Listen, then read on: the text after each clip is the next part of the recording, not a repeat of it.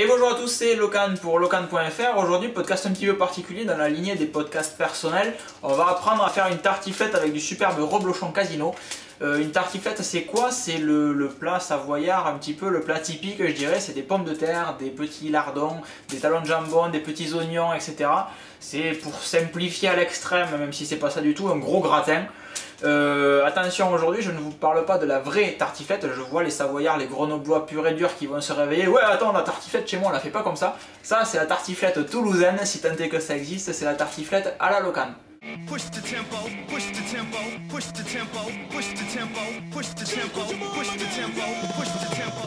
Pour faire une tartiflette, je viens de vous le dire, il faut quoi? Il faut des petites pommes de terre, il faut des lardons, casino pas cher, il faut de la crème fraîche, et il faut bien entendu du reblochon. Les proportions, vous le verrez au cours de ce podcast, sont un peu exagérées d'un point de vue lardon euh, et reblochon chez moi, tout simplement puisque je trouve que ça donne plus de goût et que c'est bien meilleur. J'oublie de vous mentionner des petits oignons ou des, des chez nous on appelle ça, pour euh, donner un petit peu de goût à votre tartiflette, ça ne sera pas du luxe. Pour commencer, il faut bien entendu éplucher vos patates, couteau économe et une petite pomme de terre, et au boulot, on s'y met, on épluche ces petites choses.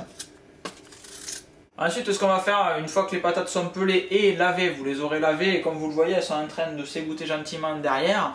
Euh, on va découper tout simplement nos petites pommes de terre. Donc si elles sont grosses comme ici, plus vous les coupez, moins elles auront besoin de cuire. Donc ici je la coupe en trois, ma petite patate. Je fais ensuite des petites lamelles ici, deux autres, clac, clac, clac, clac. Et je réserve, etc. Et j'attaque sur ma patate suivante, à nouveau trois petites lamelles. Hop, hop, hop, hop etc. Vous mettez ensuite tout ceci dans une petite assiette et c'est là que Maïté ne va pas être contente puisqu'on va tout passer au micro-ondes pour faire des économies d'énergie au lieu de les faire réchauffer dans de la flotte ou euh, dans une petite poêle pour faire des pommes de terre à rissoler. Maintenant qu'on a découpé toutes nos petites patates, vous voyez il y a trois assiettes ici derrière plus une dans le micro-ondes, on va attaquer trois petits oignons comme vous le voyez ici, ils sont tout mignons, tout minuscules, c'est pour ça que j'en mets trois. Trois petits oignons, donc on va couper comme suit. J'espère pour vous que vous savez couper des oignons parce que sinon ça va pas chercher bien loin. On coupe ici, on fait des petites lamelles là. C'est le même principe que les patates, mais en plus petit, en fait, un plus moins. On fait ceci, clac. Et ensuite on vient recouper ici en tout petit minuscule. Alors là, il vaut mieux un couteau qui coupe bien pour la dernière, sinon vous allez vous ruiner les doigts. Ensuite, vous remettez tout en tas et vous rehachez menu. Euh, ensuite, ce qu'on va faire, ces petits oignons, on va les mettre dans le wok qu'il y a derrière, les faire revenir un petit peu. Euh, une fois qu'ils auront bien revenu, qu'ils seront un petit peu dorés, on va rajouter toutes les patates. Et il y en a pas mal, on va rajouter au moins deux assiettes de patates euh, pour que les patates prennent un petit peu le goût des oignons. Ainsi, il n'y aura pas que les oignons qui se dégageront dans le plat quand ensuite on mettra au four, il y aura aussi les patates qui auront pris un petit peu le goût, etc. Tout ça dans le but de donner le plus de goût possible, le goût des oignons, de le propager le plus facilement possible. Je coupe mes petits oignons, à de suite. Je viens donc ajouter un petit peu d'huile d'olive dans ma poêle. De l'huile d'olive, pourquoi non C'est de l'huile normale ou du beurre, encore mieux. L'huile d'olive parce que c'est euh, l'huile qui est la moins mauvaise. Le régime cétoire, enseignez-vous un petit peu dessus, ça vous fera pas de mal. Et je vais maintenant, mettre mes petits oignons ici. Vous constaterez que ça en fait pas mal. Que je vais mettre à euh, frémir un petit peu, à dorer gentiment dans ma poêle. Voilà, donc là, comme vous le voyez, les oignons sont un petit peu transparents, limite roux. On va de suite rajouter les petits lardons qui vont nous permettre euh, ben, tout simplement de cuire, histoire qu'ils ne soient pas crus quand on les mettra dans la tartiflette. Pourquoi est-ce que je mets les lardons avant que les oignons soient cuits? Parce qu'ils vont continuer à cuire tout simplement le temps qu'il y a les lardons dedans. Donc il faut être un petit peu logique. Euh, je mets deux boîtes de lardons, donc euh, là il y en avait deux petites, je vais en rajouter deux autres, Hop, comme ceci, toujours lardons de casino. Clac, clac, on ouvre ici, on ouvre là, on retourne pour éviter de flinguer le plastique et hop. Donc là on va bien faire revenir nos petits lardons gentiment avec nos petits oignons, ça fait quand même pas mal de viande comme vous pouvez voir, on fait pas une tartiflette pour deux personnes, même si en définitive nous ne sommes que deux. Comme vous le voyez, on a un petit souci qui est assez classique, c'est tout simplement que les lardons dégagent énormément d'eau. Donc au milieu, j'ai pas mal d'eau que je vais faire égoutter avant euh, de les mettre tout ça dans mon petit plat.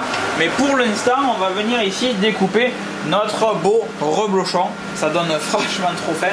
Alors il y a des petites stries, et bien on va pas se compliquer la vie, on va couper le long des stries.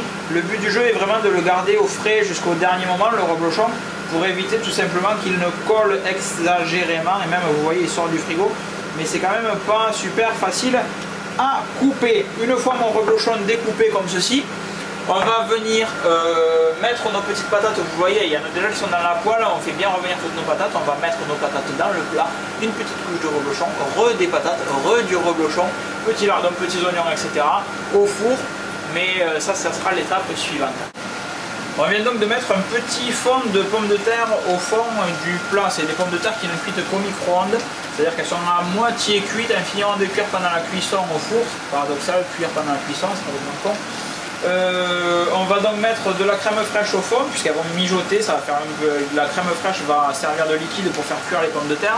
Et ici derrière, regardez, on a mis un petit peu de patates avec nos lardons et nos oignons de tout à l'heure pour que celles-ci prennent le goût, c'est ce que je vous disais. Euh, et les faire un petit peu revenir et on en a d'autres ici qu'on va faire rissoler gentiment histoire de bien finir de les cuire. Ça sera les pommes de terre qui seront en surface. Nous maintenant on va mettre notre petite crème fraîche ici. Alors euh, on a des bons estomacs donc on va pas hésiter à doser gentiment. C'est aussi ce qui va adoucir le reblochon, le, les, oignons, etc. Donc euh, ben, vous voyez, je mets la dose.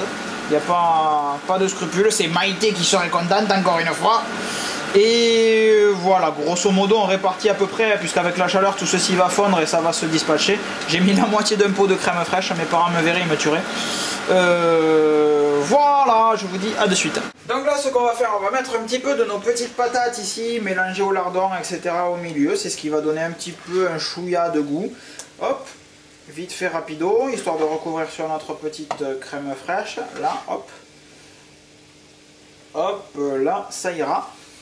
Sur ces petites pommes de terre, on va rajouter notre reblochon. Le but du jeu, c'est de faire une petite nappe. Donc on va prendre euh, tout ceci. Vous voyez, il s'est collé un petit peu, rien que de l'avoir sorti tout à l'heure. Hop, donc on va mettre du reblochon un petit peu comme ceci, un petit peu partout. Il faut bien sûr s'être lavé les mains avant. Hein. Les gros dégueulasses qui vont pisser, etc. Je veux pas savoir.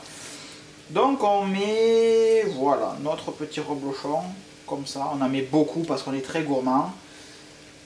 Hop, et toi, et toi, là. Normalement, ça serait pas télévisé, je l'aurais gardé pour la manger, mais bon, là, on la met comme ceci.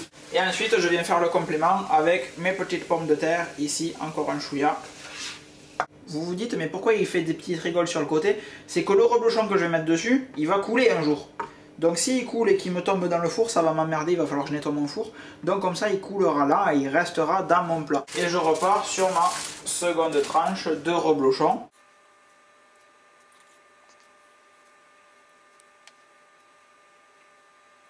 Hop là. Normalement, il aurait fallu faire préchauffer le four, chose que je n'ai pas fait puisque je n'aime pas gaspiller de l'énergie pour que dalle. Je le mets à 150 degrés. On verra peut-être qu'on montera un petit peu. Et j'enfourne mon petit plat ici dedans. Je vais même le mettre un petit peu plus bas en retirant ceci. Et en mettant mon plat, ma grille plutôt au milieu, de manière à ce que la chaleur soit réellement une chaleur tournante.